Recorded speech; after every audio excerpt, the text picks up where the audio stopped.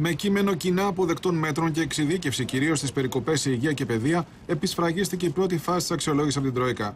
Ωστόσο, καθ' όλη τη διάρκεια της ερχόμενης εβδομάδας, το Οικονομικό Επιτελείο θα συνεχίσει την επεξεργασία του σχεδίου των περικοπών, προκειμένου να αποστείλει νεότερα στοιχεία. Ενώ στην επόμενη Παρασκευή η Τρόικα θα απαντήσει στην ελληνική πλευρά για το ισοδύναμα που έχει προτείνει, προκειμένου αφενός να αποφευχθούν οι μειώσεις στα ειδικά μισθολόγια, αφετέρου να δοθεί δυνατότητα καταβολής του φόρου εισοδήματος σε περισσότερες από τρεις δόσεις.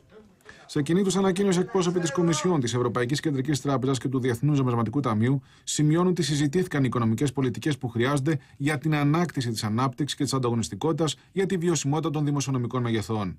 Οι συζητήσεις για την εφαρμογή του προγράμματος ήταν παραγωγικές και υπήρξε συνολική συμφωνία για την ανάγκη ενίσχυσης των προσπαθειών προκειμένου να επιτευχθούν οι στόχοι του. Οι ελληνικές αρχές δεσμεύονται να προχωρήσουν με αποφασιστικότητα στη δουλειά τους στη διάρκεια του επόμενου μήνα και οι ομάδες εργασίας της Τρόικας αναμένεται να επιστρέψουν στην Αθήνα στις αρχές Σεπτεμβρίου προκειμένου να συνεχίσουν τις συζητήσεις. Ο πρώτος γύρος αξιολόγησης έκλεισε με καταρχήν συμφωνία σε ένα μέρος από τα 11,5 δισεκατομμύρια, ενώ η ολοκλήρωση του πακέτου θα έχει γίνει στις αρχές Σεπτεμβρίου. Συν της άλλης, ο στόχος για περικοπές 5 δισεκατομμυρίων ευρώ μόνο από το Υπουργείο Εργασίας παρέμεινε αμετάβλητος.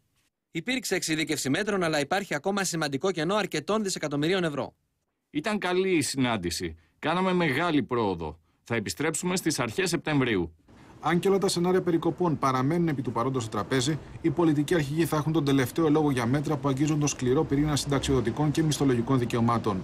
Τα μέτρα που καίνε είναι η αύξηση των ορίων ηλικίας συνταξιοδότησης, η μείωση των συντάξεων του ΟΓΑ, η κατάργηση του υπολείπου 13η, 14η σύνταξης, η μείωση των συντάξεων άνω των 1.400 ευρώ από το πρώτο ευρώ, η κατάργηση του υπολείπου 13ου, 14ου μισθού στο δημόσιο. Πολιτικά θα είναι δύσκολο, δεν υπάρχει καμία αμφιβολία γι' αυτό. Αλλά οι τελευταίες εκλογές ήταν μια σύγκρουση ανάμεσα σε δύο απόψεις και κέρδισε η πλευρά υπέρ του ευρώ.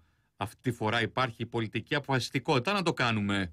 Οι δίθεν σκληρές διαπραγματεύσεις δεν υπήρξαν ποτέ και δεν ήταν άλλωστε στις προθέσεις της κυβέρνησης, η οποία σε αγαστή συνεργασία και στην ευθύνη με την Τρόικα συνεχίζει το δρόμο της πιστή και απαρέγκλητης εφαρμογής του καταστροφικού μνημονίου, επισφραγίζοντας το έγκλημα σε βάρος της κοινωνίας και της οικονομίας.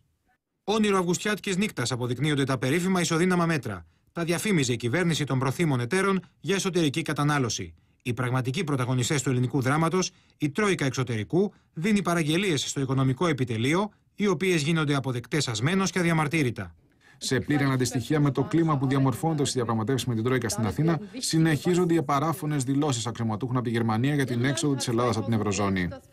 Σε μια δεδομένη στιγμή, ο καθένας πρέπει να μετακομίσει από το σπίτι της μαμάς και οι Έλληνες βρίσκονται σε αυτό το σημείο.